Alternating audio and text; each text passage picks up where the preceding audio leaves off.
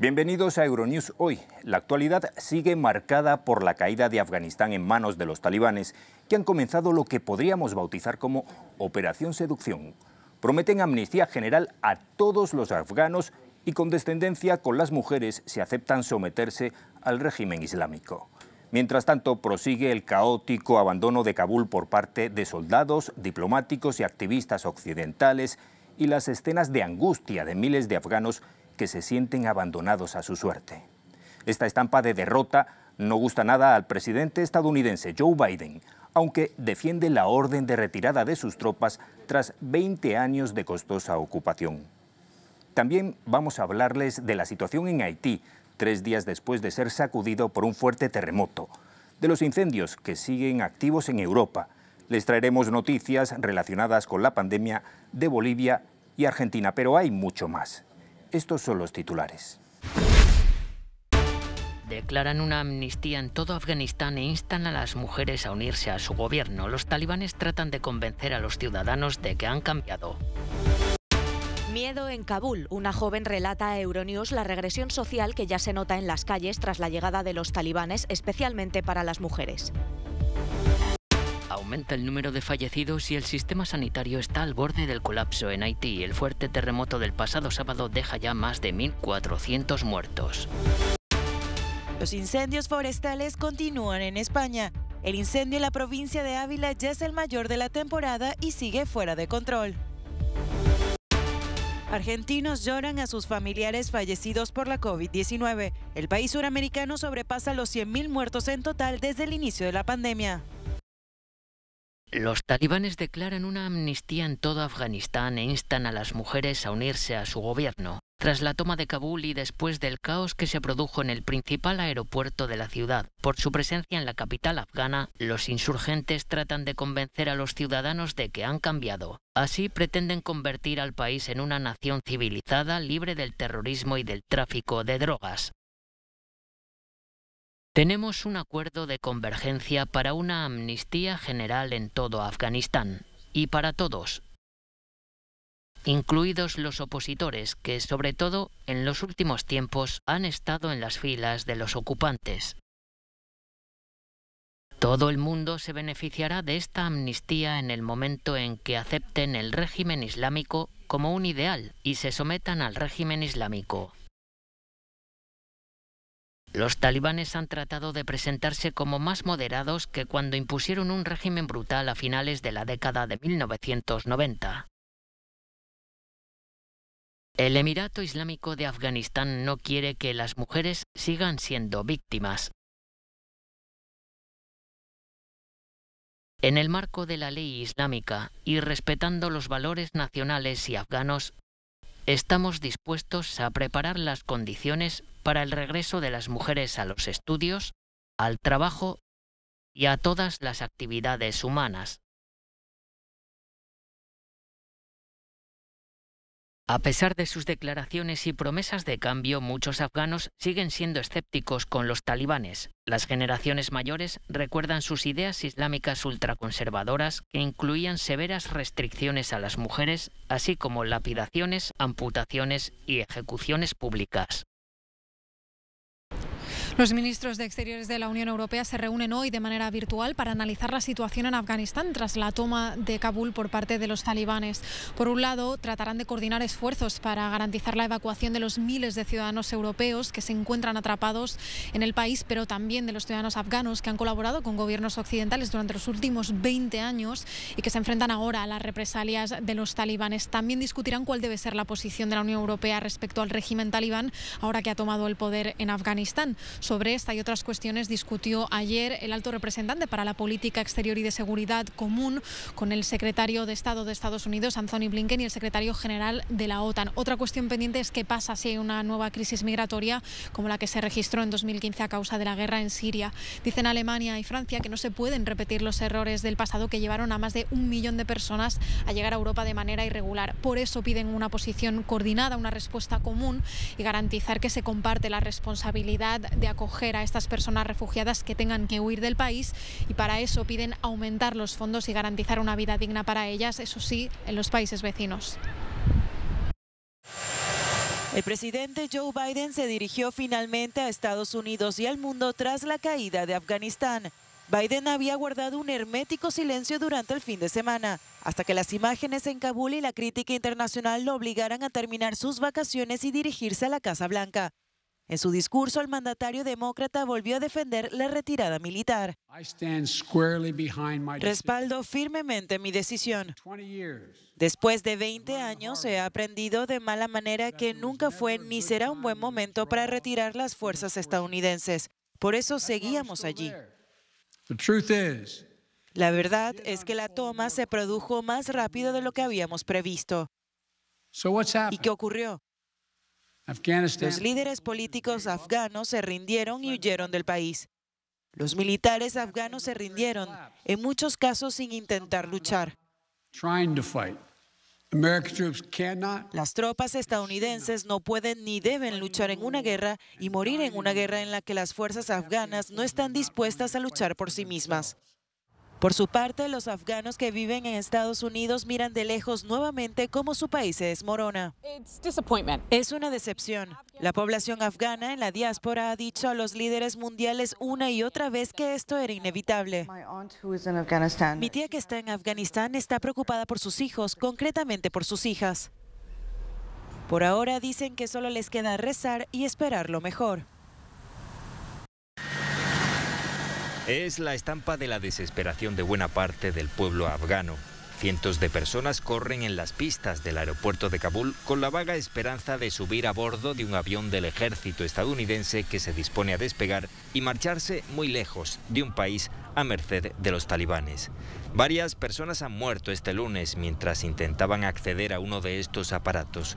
Al menos dos cayeron de un avión en marcha y otras tres fallecieron por disparos tras una confusa refriega entre un talibán y militares estadounidenses. El pánico y el caos del aeropuerto contrastan con la aparente calma que reina en las zonas controladas por los talibanes. Sus portavoces insisten en que no tomarán represalias contra la población aunque hay noticias de saqueos y abusos por parte de sus milicianos en algunas localidades. Tras 20 años de guerra, los talibanes han tomado Afganistán casi sin disparar un solo tiro. El ejército afgano, cinco veces superior en número, pero muy desmoralizado por la retirada de las tropas estadounidenses, huyó despavorido ante su presencia, como también lo hicieron decenas de miles de personas de todo el país que buscaron cobijo en Kabul. El miedo y la incertidumbre se apoderan de las calles de Kabul con la llegada de los talibanes. Las mujeres y niñas temen una regresión en sus derechos que ya empieza a notarse y que una joven periodista que vive en la capital afgana ha contado a Euronews. Su nombre como su voz ha sido ocultado por motivos de seguridad. Cuando llegué a casa de la oficina ayer fui al bazar a comprar algunas cosas necesarias. La vendedora me dijo, debes irte a casa porque ningún hombre te ha acompañado y los talibanes han venido. No llevas un hijab o un burka adecuado y sin llevar burka, los talibanes pueden hacerte daño. Pensé, me daré prisa y volví a casa inmediatamente. No podía imaginar que Kabul caería tan rápido y sin ninguna resistencia. Los americanos habían predicho que Kabul caería en siete días.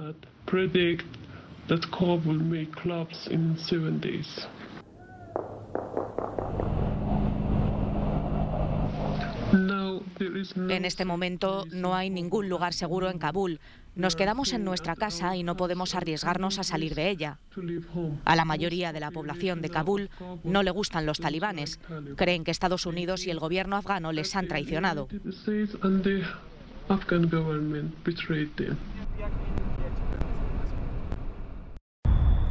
El incendio forestal en la provincia de Ávila se ha convertido ya en el mayor de este año en España. Las llamas han destruido al menos 12.000 hectáreas y todavía sigue fuera de control.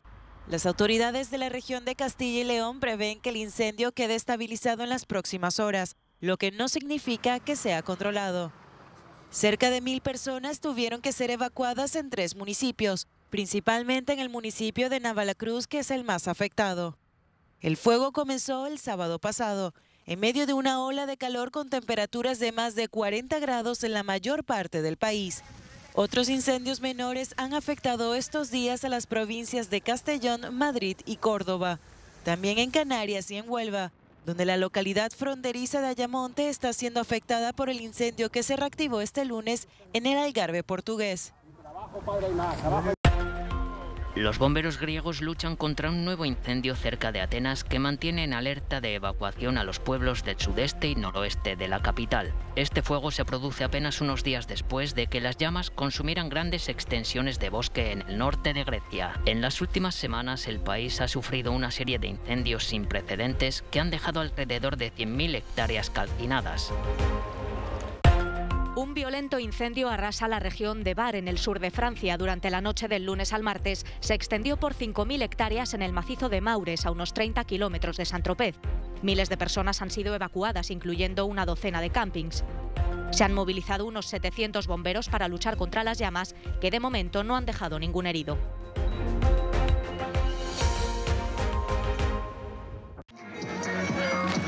Cientos de manifestantes se reúnen en Berlín para pedir más medidas contra el cambio climático. El grupo ecologista Extinction Rebellion y otras organizaciones han empezado a movilizarse esta semana en la capital alemana para pedir un cambio político que trate de frenar el calentamiento global. Tras mantener en secreto el lugar del emplazamiento, finalmente los manifestantes se han reunido en la puerta de Brandenburgo. La idea era parar el tráfico en algunos puntos de la ciudad, por eso la policía de Berlín pedía a los ciudadanos que evitasen usar el coche y utilizasen el transporte público en la medida de lo posible para que no se produjesen atascos.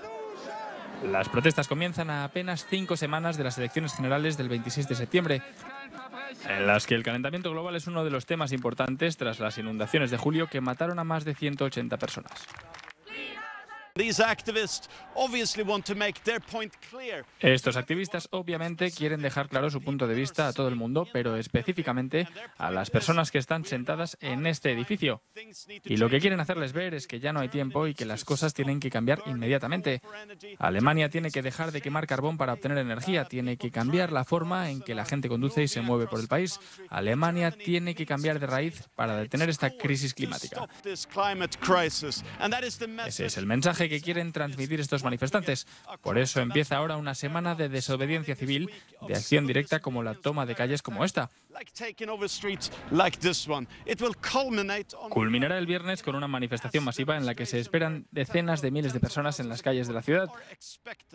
Y este es solo el comienzo de esta semana. Jonah Calgren, Euronews, Berlin. Aumenta el número de fallecidos y el sistema sanitario está al borde del colapso en Haití. El fuerte terremoto del pasado sábado deja ya más de 1.400 muertos y alrededor de 7.000 heridos, y los hospitales del sudoeste del país se saturan. El devastador seísmo de 7,2 grados de magnitud en la escala Richter ha destruido miles de viviendas y ha causado daños estructurales en decenas de centros médicos. Hay numerosos desplazados y en los hospitales algunos pacientes están siendo evacuados de nuevo por los funcionarios de la Guardia Costera de Estados Unidos. Haití libra numerosas batallas al mismo tiempo. Así lucha contra la pandemia de coronavirus, contra la violencia de las bandas organizadas y contra el agravamiento de la pobreza. A ello se une la incertidumbre política tras el asesinato de su presidente el mes pasado. Varios países, entre ellos México, han respondido a las peticiones de socorro y han enviado aviones militares cargados con 15 toneladas de ayuda de emergencia. Los problemas pueden empeorar en breve en Haití. La tormenta tropical Grace amenaza con empeorar la situación. Ya ha causado graves inundaciones y corrimientos de tierra en la vecina República Dominicana. El dolor y la indignación escritos en piedra. Decenas de argentinos se citaron frente a la Casa Rosada para posar piedras con los nombres de sus familiares que fallecieron por culpa de la COVID-19. Traje la piedra por cinco parientes míos. Vine a traer las piedras de mi sobrina de 31 años y de su tío de 58. Un acto solemne pero también de protesta contra el presidente Alberto Fernández, que ha sido fuertemente criticado en los últimos días tras la difusión de una foto tomada en la celebración del cumpleaños de su esposa.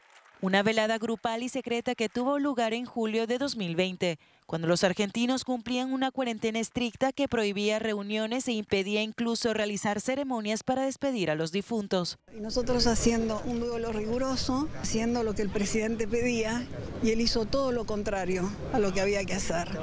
Según datos oficiales, un poco más de 26 millones de personas recibieron la primera dosis de la vacuna, mientras que 10 millones poseen la pauta completa. Muchos aseguran que las vacunas llegaron demasiado tarde. Y esto le costó la vida a un abuelo, a un hermano, eh, nos dejaron sin papá y todo porque no trajeron las vacunas a tiempo. Porque ahora las están aplicando porque llegan las elecciones, pero las necesitábamos desde el año pasado. Las cifras de la pandemia han bajado significativamente en los dos últimos meses. Argentina había llegado a registrar hasta 40.000 contagios y casi 800 muertes en un día durante el mes de junio. Pero el gobierno tiene un trabajo por hacer para mejorar la cifra de los 3.000 casos diarios que mantiene en agosto. En números totales, el país suramericano suma más de 5 millones de casos y 109.000 fallecidos por la COVID. Vacunarse en el Alto tiene recompensa. Los habitantes de la ciudad boliviana han recibido un incentivo alimenticio a cambio de vacunarse contra la COVID-19. Con el fin de incrementar el número de personas inmunizadas, las autoridades bolivianas han repartido cientos de paquetes de fideos y arroz a los recién vacunados. Ciudad del Alto está en el último peldaño de vacunación de todo el país, con apenas un 30% de la población inoculada. La ciudad del Alto no, se ha venido a vacunar en los principios, cuando ya ha iniciado esta vacunación.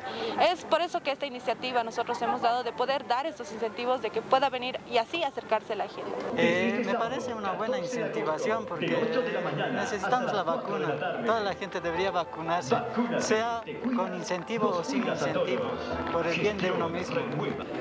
Esta campaña de inmunización pretende evitar una cuarta oleada que golpearía nuevamente la ya frágil economía del país. Por el momento, el 28% de los bolivianos han recibido la pauta completa y el 40% la primera dosis. Mientras, la nación andina recibió 125.000 dosis de la vacuna rusa Sputnik. Este nuevo lote llegó con retraso, lo que generó una gran incertidumbre en las personas que tuvieron su primera dosis hace más de tres meses.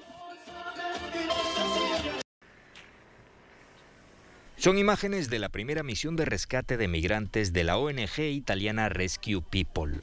Desde el pasado viernes ha asistido a más de 160 personas que trataban de llegar a las costas europeas en embarcaciones precarias.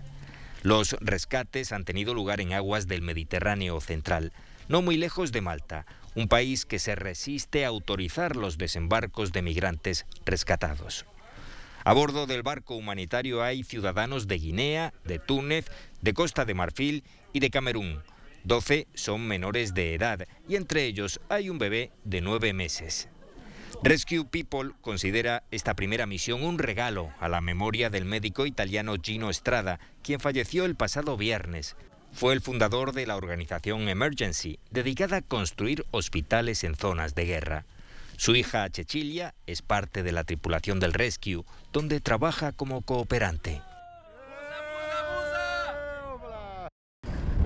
Mozambique llama a volver a casa a personas desplazadas por la guerra después del éxito de las ofensivas del gobierno del país contra los yihadistas en el norte. El apoyo de Ruanda ha hecho que las tropas logren ganar terreno. El pasado domingo, 8 de agosto, se tomó la ciudad de Mocimboa, en Cabo Delgado.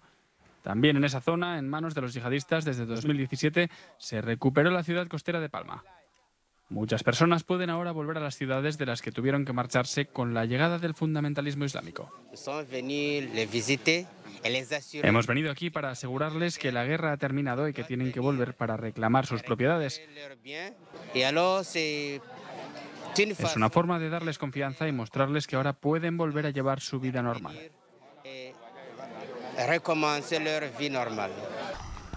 Aunque la policía intenta convencer a la gente de que vuelva a casa, muchos tienen miedo de hacerlo. Cansados de huir, prefieren quedarse en los campos de refugiados. En los últimos cuatro años, el conflicto con los grupos armados en el norte del país ha causado más de 3.000 muertos y 817.000 desplazados. El clima de inestabilidad también ha llevado a las multinacionales presentes en Cabo Delgado a suspender sus operaciones e inversiones en la provincia.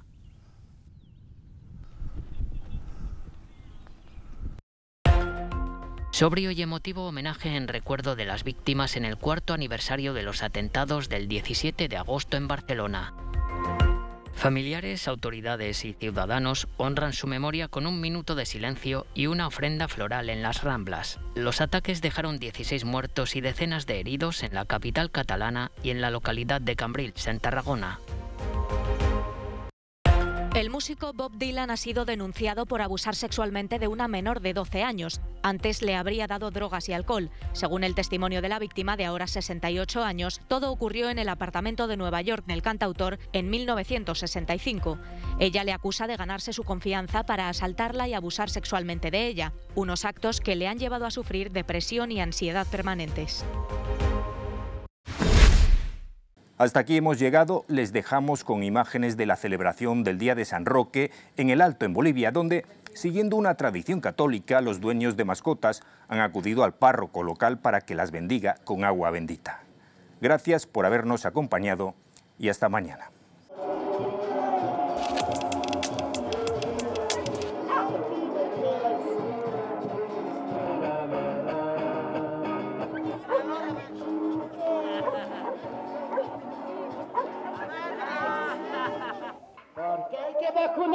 Así como nosotros ya nos hemos vacunado.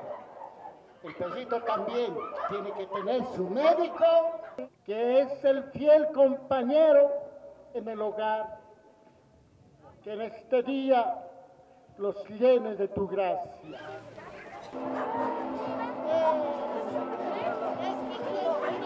Por eso